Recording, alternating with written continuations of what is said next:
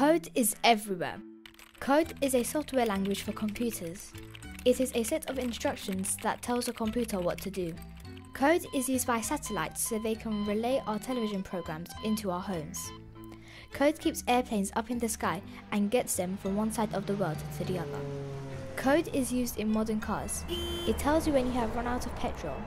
It controls the satellite navigation system and will show you how many miles you have travelled. Code is used to turn traffic lights from red to green.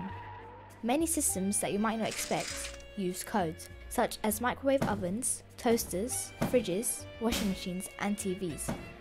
Code really is everywhere. But what is code? Developers write code using a software language to create a software program or a website. A program can be an operating system or an app. Just as there are many different languages spoken in the world, there are also many different software languages. These are often suited to different types of program, and developers will specialize in certain ones. For example, Scratch, Python, and Kodu are good for writing games. HTML, PHP, and CSS are often used for creating websites. These languages are used by developers to create mobile apps. Let's have a closer look at an app.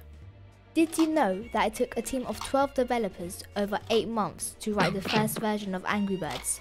To create an app, or a website, or a piece of software, a team of developers will work together with many others, such as testers who make sure there are no bugs in the software, and designers who provide the exciting graphics. If you can write code, you could be part of the development team that creates the next Angry Birds, or you could work for Facebook.